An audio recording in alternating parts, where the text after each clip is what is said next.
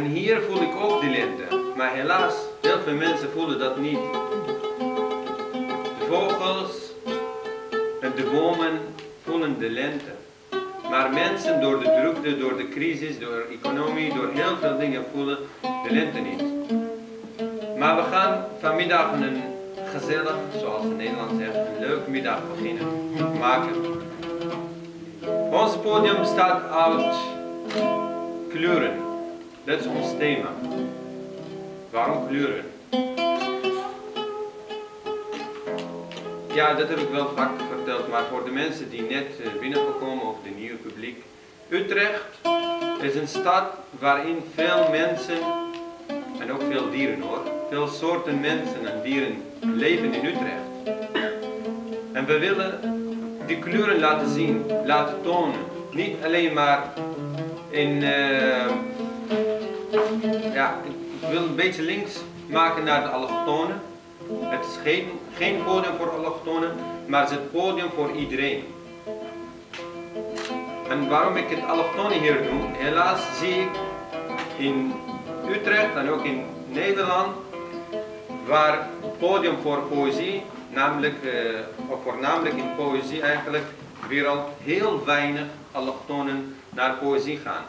En ik merk dat van, van een voorbeeld, ik had een drie maanden geleden een optreden in Nijmegen en mijn broer woont heel bijna 20 jaar in Nederland en heeft nooit een middag of een avond met poëzie meegemaakt. Ik heb hem uitgenodigd en hij is helemaal van genoten eigenlijk. Dus ik wil eigenlijk niet alleen ik, Monier, en we, we missen vandaag een kleur. Dat is Aras Mori. Hij maakt elke laatste zondag, meer woorden, meer kleuren, een uh, mooie kalligrafie. Dus de dichters gaan zijn gedicht voorlezen. Hij gaat die woorden oppikken in zijn hoofd en hij gaat in het Arabisch mooie tekeningen maken. Maar hij is niet, hij is naar Koerdistan gegaan. En lente in Koerdistan. En uh, ik belde hem, ik zei, waar ben jij? Hij zei, ik ben in de bergen en uh, ik voel de bloemen hier. Dus hij komt volgende maand met extra bloemen, wilde bloemen uit Koerdistanbergen.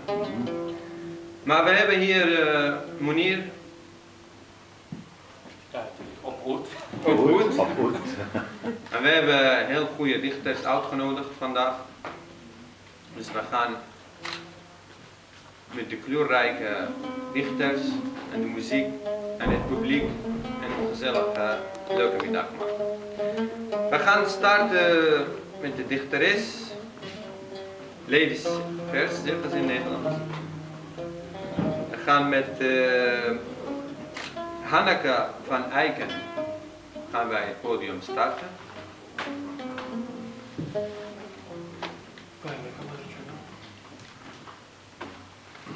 Hebben misschien een krokje? Nee. Hanneke is... Uh, zij schrijft gedichten rond toen zij 11 jaar oud was. En zij is heel actief, onder andere stichting Het Poëzie Circus. In 2004 pakte zij zelf de pen weer op om haar eigen poëzie te schrijven. Hanneke is, uh, ja, staat heel veel slimme dingen, maar onder andere zij is docent als uh, dienstverlening en in, in Europees recht. Zij werkt als docent promo van de Europese recht, zeg ik goed? Ja, promovenda Europese recht. Kijk, dus we hebben hier Hanneke van Eiken, niet met haar promovanda, met, maar met haar gedichten. Hanneke van Eiken.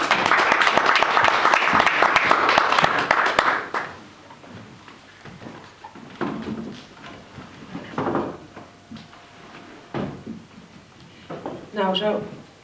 Ja, zo blijft het staan. Zoals Baban al zei, het is lente vandaag. En uh, we merkten dat, uh, althans ik merkte dat in ieder geval heel duidelijk. Namelijk, ik had vannacht een uur minder slaap. Jullie ook. Um, en het is voor mij dan meteen een reden om uh, niet zo vrolijk uit mijn bed te stappen.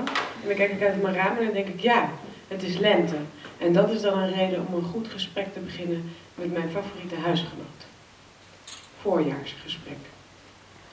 Als wachter staan de robuuste plantanen langs de weg. Een erehaag van 300 jaar. Een gladde, gestukte huid die jou uitnodigt naar boven. Statig zwaaien hun armen.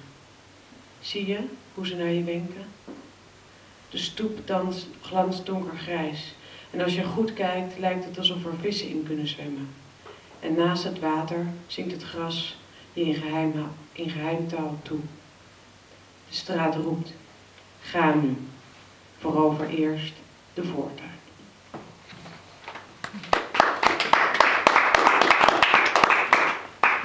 Um, ik uh, kom oorspronkelijk uit Zeeland, dus ik uh, raak uh, nogal geïnspireerd door de zee. toen ik twee jaar was, liep ik al met een luiertje over het gangpad van een boot. Dus nou ja, daar ben ik mee opgegroeid. En nog steeds, als je naar Zeeland toe gaat, dat is een helse tocht, kan ik jullie vertellen, met de bus. Dat duurt drie uur of zo. En als het tegen zit, vier uur of vijf uur. Um, er klinkt iemand heel erg op de voorste rij. Dat is... Je kent het? Die uur, die komen Oh. Als je dus met die bus rijdt, op een gegeven moment rij je zeg maar over een hele lange dam en dan uh, staat er ook een bordje Zeeland. Dus dan, dat is vanuit Goeree Overflakke kom je dan Zeeland binnen. Um, en daar ruikt het eigenlijk altijd een beetje naar voor zeewier. En dan snuif ik dan op en dan denk ik, ha, thuis. Element. Hier is bijna niets dan zand dat bestaat bij de genade van het water. Mannen steken pieren op de zandbank. Hun gezicht in herhaling naar de grond gericht alsof zij goudzoekers zijn en spreken met de aarde. Hier regeert het geloof van een vissersorde, het klapperen van touwen en een lokroep. Doop mij, breng mij terug tot niets dan water.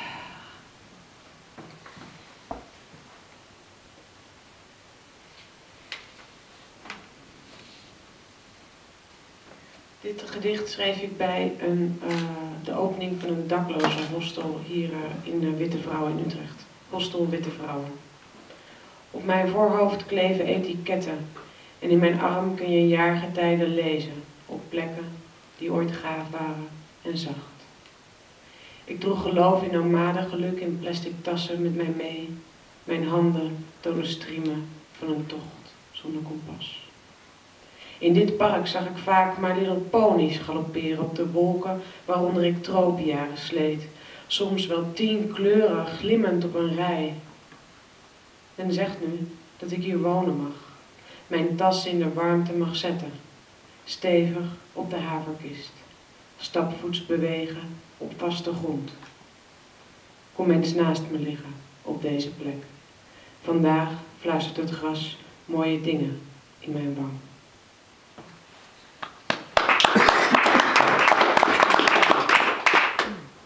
Als je um, in de woestijn uh, woont. En je, ik ken iemand die heeft een huis aan de rand van de woestijn. En als je elke dag om 7 uur een foto maakt van de woestijn, ziet de woestijn er elke keer weer anders uit. En dan kun je dus een prachtige collage van maken. Dit gedicht heet Huis. Op marmer worden warme voeten gewassen na een nacht. Buiten vertrekken handelaren naar de stad, pakken ezels en tassen. De woestijn weerkaatst brons de keuken. Geluid wordt gedragen transparant. De vlakte als een arena. En iedere morgen leg ik haar gezicht opnieuw vast. Vandaag ontwaakt zij met beheerste ernst. Alsof ze haar eerste verjaardagscadeau mag uitpakken.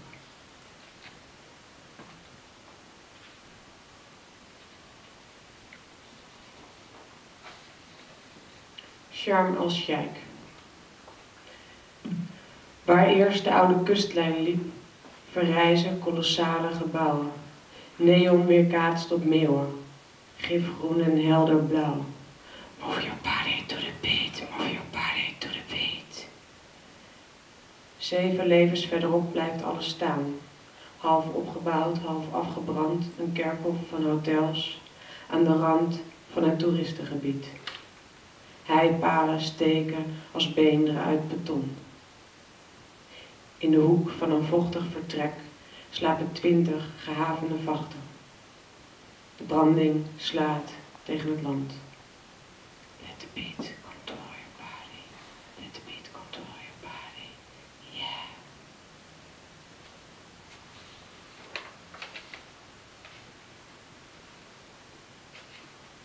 Mag ik er nog drie doen, Baban? Ja, ja, ja, zeker. Um, dit gedicht heet De Kledenvrouw en dat schreef ik in uh, Mexico. Of eigenlijk schreef ik in Nederland, eigenlijk na Mexico. Um, maar ik was daar in het plaatsje San Cristobal. En uh, in San Cristobal komen elk jaar uh, op 1 januari precies te zijn guerrilla-strijders uit de bergen naar beneden. omdat ze dat namelijk in 1996, denk ik, maar dat hou me te goede, dat dorp hebben bezet. Uh, vervolgens zijn ze verjaagd naar de bergen en dit is een soort traditie. En de uh, plaatselijke bevolking laat die guerrilla-strijders voor die ene dag dat dorp van hen zijn. Dus de guerrilla-strijders zijn tevreden en dorpelingen denken prima. 364 dagen per jaar is dit dorp van ons. De klede vrouw van San Cristobal. Het stadje in de bergen met het zilveren plein. Een spiegelgladde zee die aan de voeten van de vrouw te rusten ligt. Een jongetje maakt servetringen van colablikjes. De kledenvrouw. Zij glimlacht. Zij kent de kelders van de stad en glimlacht. Ze spreidt geweven regenbogen aan de oever van een stille kust. Het stormt hier al jaren niet meer. In deze aarde ligt een stil verbond.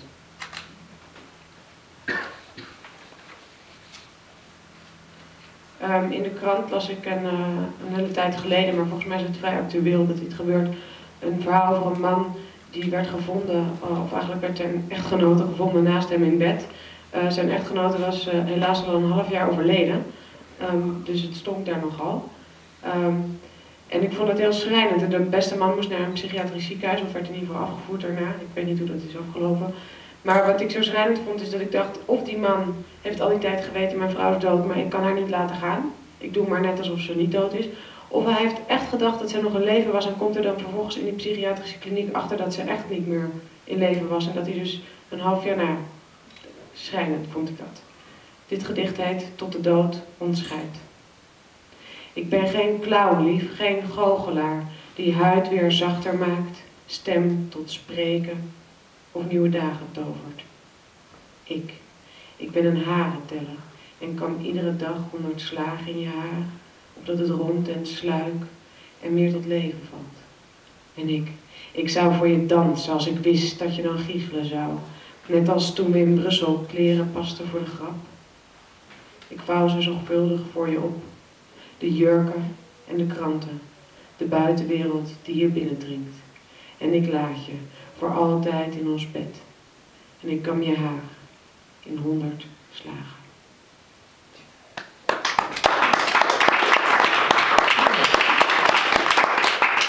En tenslotte een gedicht uh, naar aanleiding van mijn ervaring als uh, docent op de universiteit. Uh, het is namelijk nogal een rare gewaarwording dat je voor je gevoel een hele, een hele show hebt gegeven maar dat iedereen dan vervolgens gewoon zijn tas inpakt. en dan sta je daar, dan moet je net doen alsof dat niet een hele prestatie is. Zeg ja maar dag. Het zou ook wel raar zijn als ze gingen applaudisseren, toch? Nou ja, dat denk ik dus niet. Ik zou dat wel willen introduceren. Enkele keer gebeurt dat toch wel eens? Ja, een hele enkele keer, ja. ja. ja, ja Meestal de laatste. Ik heb het wel eens meegemaakt, ja. Dit heet voorstelling. Het is rumoerig Op de gang wordt geschuifeld. Er liggen boeken op de verwarming. Twee meisjes praten over een nieuwe film. Een klein debat ontstaat over de kleur paars van een vestje. De deur van de zaal gaat open en het wordt voorzichtig stiller. 52 voeten over lelijk zeil op zoek naar een stoel. Het ruikt licht naar natte jas. Dan gaat het doek op. We beginnen en ik decodeer teksten, kleur met krijt en wet in. Na twee uur zonder dorst, zonder een buiten, volgt een applausloos vertrek. In gedachten buig ik, kom ik, nog drie keer op.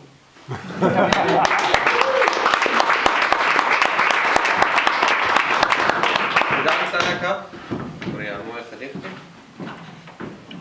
De volgende dichter, eh,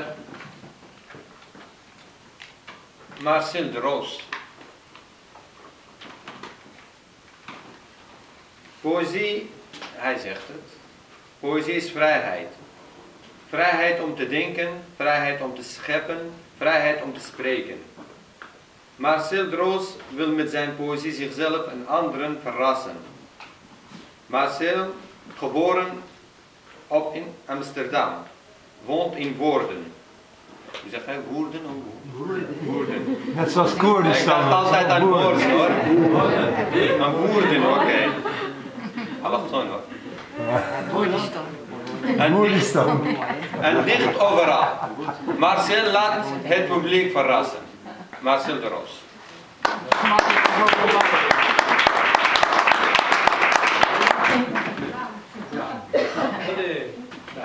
Ja, wonen in woorden is ook wel mooi. Ja, ik- Ja, Het is nog rijker dan Woerden hoor.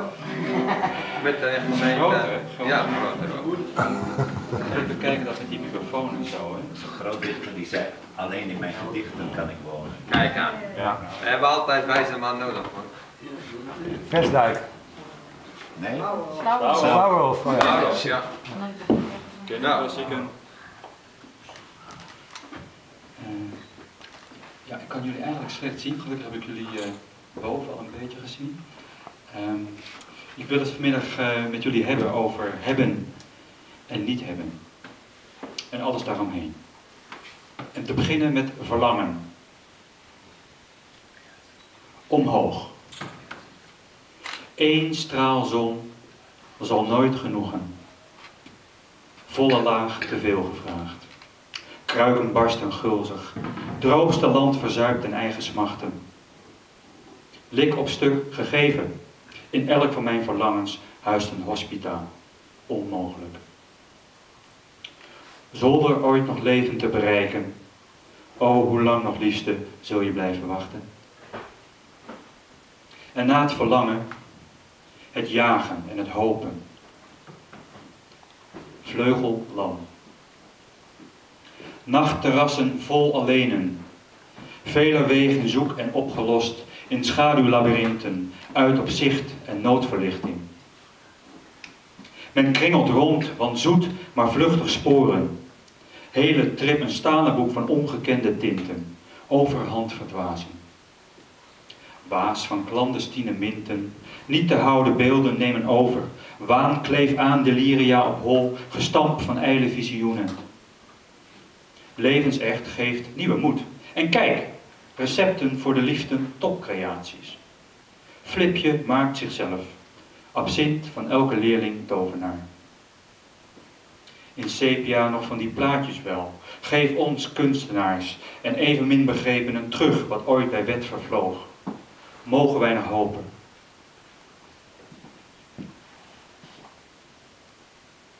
Ergens in een no-go zone tussen het hebben en het niet hebben bevindt zich het schemergebied van de verslaving. En soms weten we niet eens dat we daar zijn. Onder invloed.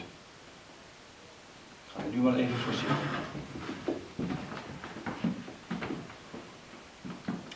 Broodkruim en wat sprokkelwaar. Een kinderhand is gauw gevuld. Ik ben de schaduwsmokkelaar met kleine kansen al verguld. Uw linie is een stippellijn. Geen la of kast blijft ongemoeid. Geen kamerscherm of rookgordijn voorkomt dat ik steeds meer geboeid uw diepste wortels boven haal. Uw eigen woorden encrypteer. Uw, uw grond bewater en bestraal. Uw smaak bederf. Door keer op keer hier ongezien mijn zaad te poten. Zweten plengen in uw likeur. Ik hak mijn tong in dikke moten en roer ze door uw fijnste stuur. Ik moffel kruiden in uw kussen, hang uw schilderijen scheef, bemin uw vrouw, terwijl intussen de hond al eet wat ik haar geef. Keert u terug, u zult niet weten wat zich hier heeft afgespeeld. Alles wordt nog steeds bezeten en past nog in het oude beeld. En toch, als weer een stoelpoot kraakt, de vispartij, pastei uw darmen treft en bonzo uw bevelen laakt, dan komt de tijd dat u beseft dat de wijn ook gisteren niet beviel. U s'nachts niet slaapt en akelig maalt. Uw pianospel klinkt zonder ziel, uw knikker onrustbarend kaalt. In gaal uw lief en haast afwezig, de klok vertikt zijn regelmaat. Vreemde flora houdt u bezig, u maait, maar slechts de lust vergaat.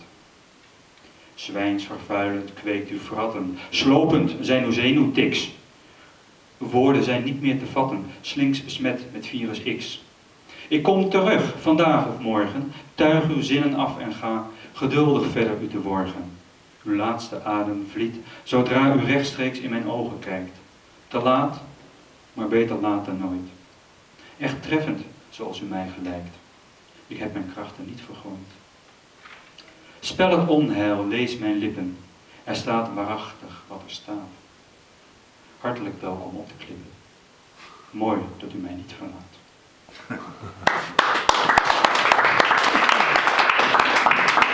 Ik vind het wel knap, Marcel.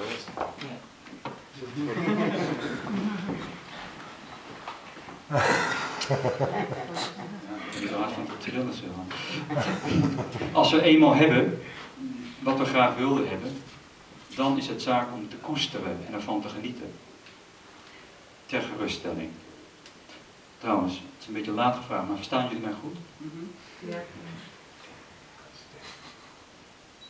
Stukken met alleen maar helden en succes.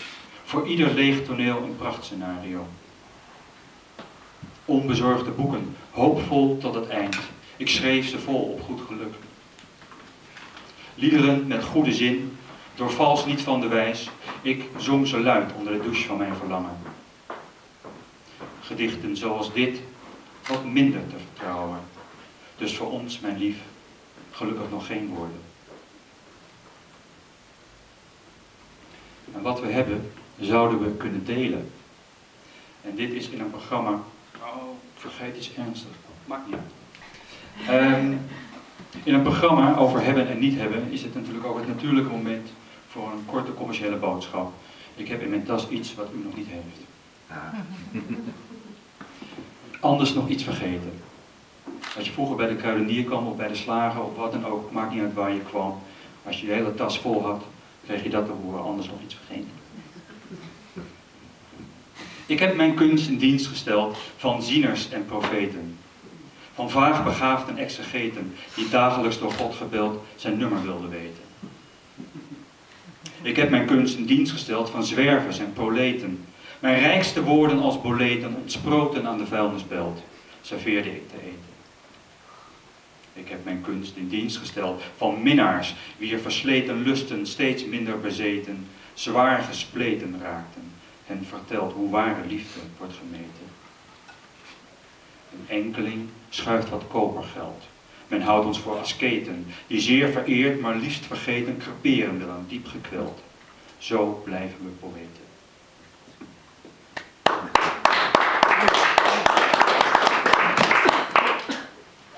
Wat we hebben, kunnen we vergeten te koesteren en vanzelfsprekend gaan vinden. Des te groter dan de kans dat we het verliezen en dat we het niet meer hebben. In tijden van schaarste. Werd het brood niet te betalen, vrienden dan met elke bakker? Ging de liefde op de bom? Had jij nog noodvoorraad? Kiezen vierkant uitgesloten, tot wie verplicht ons wenden? Was verlangen uitverkocht, waarmee ontevreden? Verder vragen streng verboden.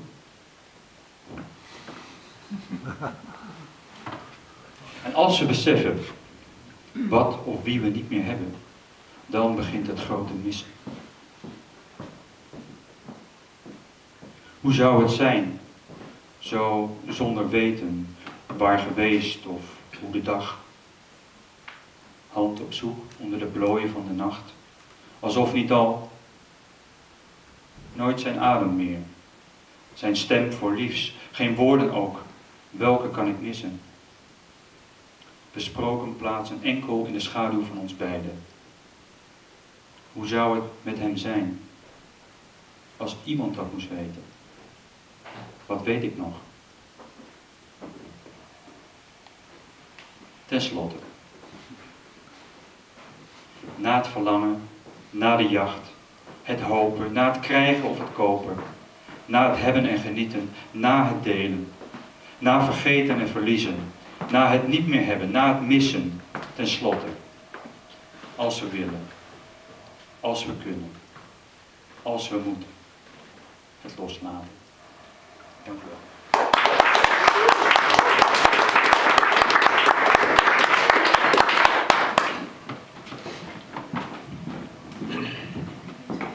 Bedankt Marcel. De volgende dichter is eh, John. Zeg ik het goed? John Zwart. Oh ja. Oh ja. Heb je alle spullen bij? Ja.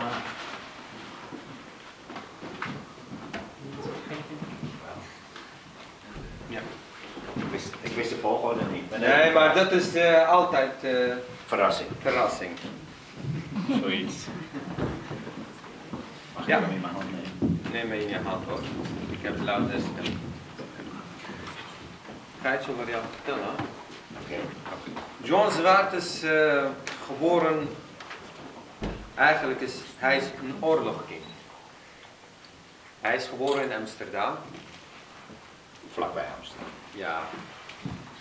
Vlak, ja, hoe heet het? Koog aan de zand. Koog. Koog aan de zand, zoiets.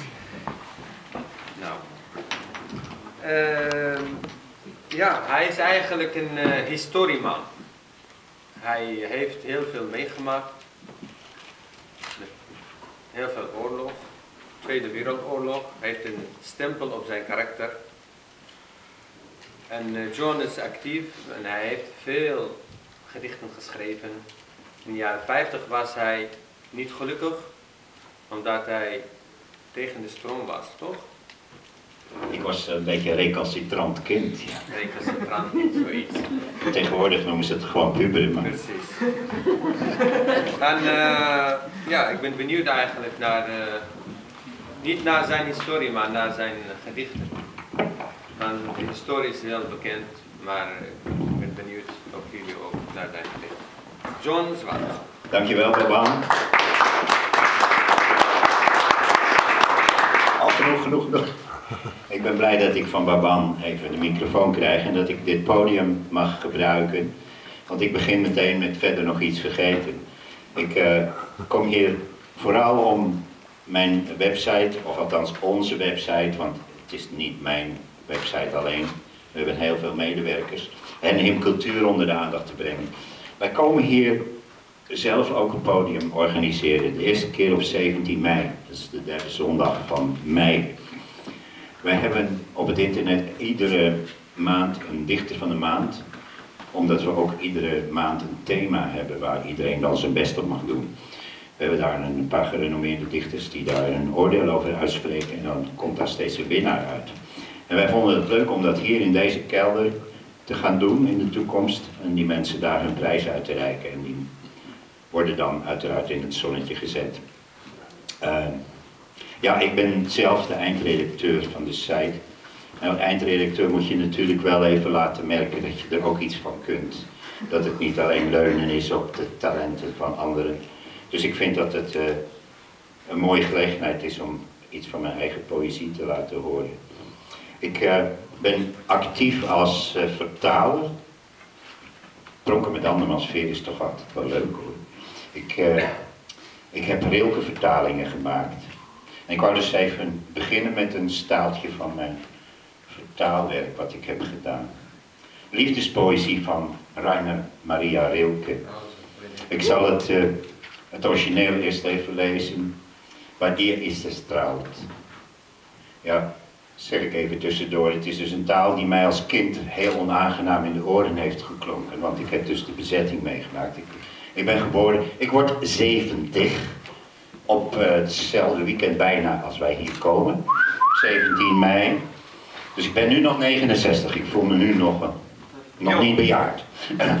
maar goed, ik word 70. Dus je kunt zelf uitrekenen dat ik nog wel heel klein was. Maar ik heb dus wel al die schreeuwende militairen meegemaakt die op staat te uh, schreeuwden en al dat soort dingen.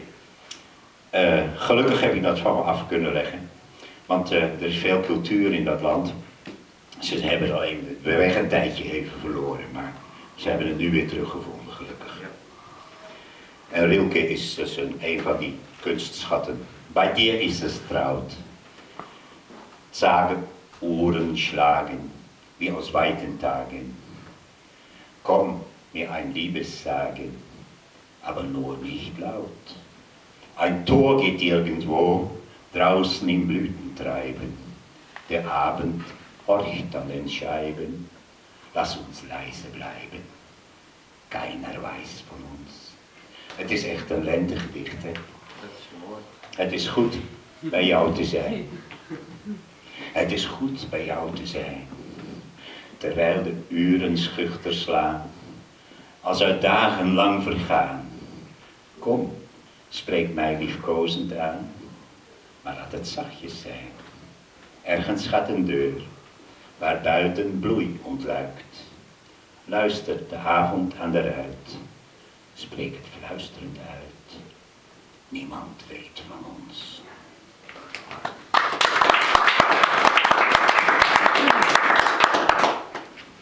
Nog eentje van Wilke. Het is een dichter die dus al meer dan 100 jaar geleden is overleden. Dus uh, ik vind het geweldig dat hij toch nog zo aanspreekt. Hè? Uh, die Liebenden. Sie, die zueinander erwachsen. In ihrem Atem wird alles Geist. Ihre Gestalten beben wie Achsen, um die es heiß und hinreißend kreist. Dürstende, und sie bekommen zu trinken. Wache, und sie bekommen zu sehen. Lass sie ineinander sinken, um einander zu überstehen. Dan dus wat ik hiervan gemaakt heb. De geliefden. Zie hoe ze opgaan in elkaar. Hoe het bruist in een bloedbaan. Beide gedaand als een trillende snaar. Waar omheen meeslepend hartstochten gaan. Dorstigen en zij krijgen te drinken. Waak en zie hoe ze smachtend behagen. Laat ze in elkander zinken om elkaar te kunnen verdragen. Goed.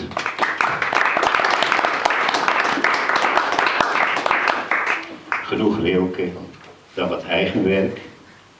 Ook tussen haakjes, ik heb wat uh, meegebracht. Meegenomen zeggen ze, maar nee, nemen is uh, stelen. Hè? Maar ik heb iets meegebracht. Um, wij hebben een bundel uitgegeven van de site uit. Toen hadden we nog geen prijs. Maar toen lieten we dus uh, het publiek stemmen. Dat is in het jaar 2002 geweest. De mooiste gedichten die je dat jaar hebt gelezen op het internet, op onze site, die zijn toen gebundeld. Ik heb er nog een paar. Ik heb ze in prijs verlaagd, want ze gaan nu toch, de laatste gaan nu toch de deur uit. Ze waren voor 6 euro, en voor 5 euro kunt u ze meenemen. 25 schitterende gedichten van bekende en inmiddels vaak naamgemaakt hebbende internetdichters. Ik heb er nog een stuk of vier. Oké, okay. eigen werk nu.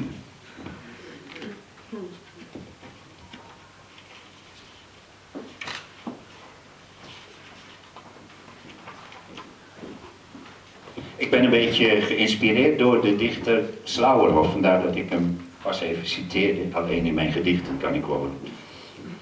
Ik heb een acrostigon gemaakt, een acrostigon op de naam van Jan Jacob Slauerhoff. Zijn voorste twee namen, dus de voornamen, heb ik daarvoor gebruikt. U weet wat een acrostigon is? Ieder vers begint dus met de eerste letter van de naam van de dichter. Jan Jacob. Jij opende voor mij een vers gezicht. Al in mijn onbevangen jaren, nog voor ik van de poëzie iets wist. Jij wees op onze vrijheid van gedachten, als vogels boven zee die het land verachten. Conform de regels alles zonder dwang en plicht, of daartoe slechts wij op de wereld waren, betekende voor jou als lag jou in je kist. Die vrijheidsdrang van uh, sprak mij dus enorm aan. En uh, die had ik dus ook. Ik ben 15 jaar zeeman geweest. Dat is ook eigenlijk de bron van mijn dichtkunst. Nog wat gedichten, zeegedichten? Of iets anders? Zeegedichten. Ja, die komt zo dus de zee. Zeeman, zeegedichten van Zeeman. Nou, blijven maar dicht bij huis in de Noordzee. Noordzee. Als zij stuurt rondom het eiland, bruisend in opkomend tij zoeken vogels eilings dekking achter dijk en duinenrij. In haar liefdevol omarmen spreidt zij levend water uit. Door het zeegat over banken, voor vogels nieuwe buit. Stromen keren zich weer zeewaarts. Mystiek trekkracht van de maan. Banken zullen opnieuw droog staan, vogels zwemmen, dalen gaan. Eeuwenlang bleef dit behouden. Vogels, water, oergeluid. Van natuur voel je haar adem.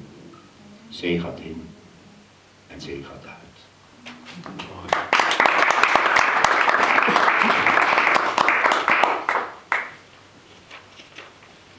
Mystiek over de Waddenzee. Mag, die nog, mag ik nog één of twee? Doe maar, ja. Oké. De Waddenzee, dat is ook zo'n mooi uh, gebied wat geen land en geen water, geen zee is, maar iets ertussenin en steeds van gedaante verandert.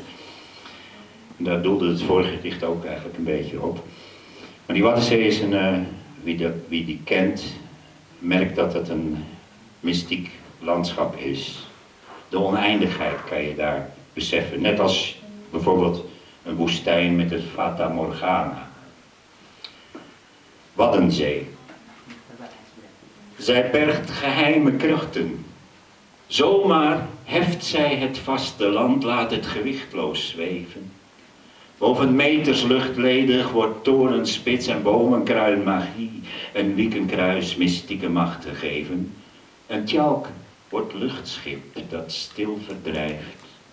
De vlucht Eiders kent het geheim en onverstoord vliegt zij er onderdoor.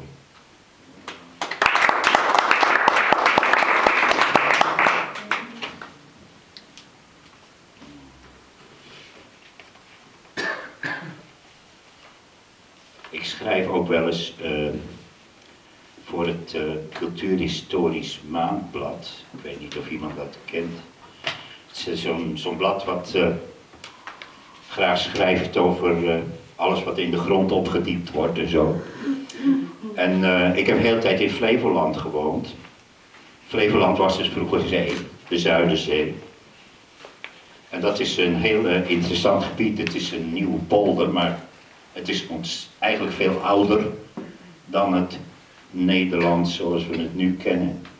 Daar woonden vroeger mensen toen het van nature boven de zee lag. En dat is nu allemaal weer opgediept. Ik heb voor die mensen die daarin dat uh, residu aan het graven zijn en dan van alles omhoog brengen, heb ik dit gedicht geschreven onderhuurders in het voorbijgaan. Wij zijn niets dan onderhuurders in het voorbijgaan en zijn beland op land dat we bodem heten, om niet te vergeten hoe wind en waterklanken daarbij behoren, het kabbelen, klotsen, kolken waaruit het is herboren en waar tijdelijk ingetoond het tij zijn tijd wacht. Met onmetelijk geduld, zoals het land als het met recht weer bodem is, te wachten zal tot het eens weer reizen gaat. Wij zijn te klein en duren niet genoeg en kunnen niet bevatten. Hoe eerst dit land het huilen van de wolven hoorde. Hoe hier de mammoet liep en toen de zee haar rechten nam en onder haar wateren rusten mocht. Hoe het slechts tijdelijk is dat ingetoond de zee ons dit land nu toont dat weer voorbij gaat. Als vrije lood zijn lood neemt. We kunnen het niet bevatten, want wij zijn klein van stuk en kort van duur slechts. Onder u dus in het voorbijgaan.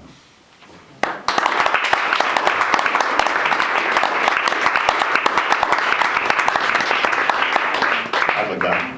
Ja, bedankt John eh, Zwart. En eh, uiteraard kunnen jullie het bundels eh, kopen voordat hij 70 jaar oud wordt hoor. Ja, ja, ja. Dus vandaag eh, is 69 nog. ja precies. Ja, Ik, ik ben bereid om ze te signeren. ja kijk, signeren. Signeren is gratis toch? Ja, signeren is gratis. Mooi. Kijk. Had jij nog andere spoelen? Ja, dit is, een, dit is een proeven waaruit ik één gedicht gelezen heb. Dat laatste gedicht wat ik gelezen heb staat hier ook in. Dit zijn twaalf recente gedichten die ik veelal in opdracht heb geschreven. Ik strooi hier rond bij uitgevers om ze te proberen te doorheen eindelijk eens een verzamelbundel uit te geven. Het is nog niet gelukt, maar ik verkoop deze voor 4,50 euro. Kostprijs is dat. Oké, mensen kunnen jullie vinden. Eh, op jou vinden. zeker. Oké, knijpertje. En nu voor, eh, voordat wij gaan pauzeren, of pauze nemen, tijd voor eh, Monier. En daarna hebben wij nog andere dichters. En boven hebben wij lekkere hapjes, dolma's. En de deuren zijn al gesloten, dus jullie kunnen niet vluchten. Dus even luisteren naar muziek en eh, later lekker hapjes. En daarna gaan wij beginnen met de tweede set. Ja, ik wou iets eh, over ook vertellen, maar ik eh, krijg een beetje. Ja, goed. Laat maar jouw, dus, eh, jouw instrument horen, ja. iets vertellen.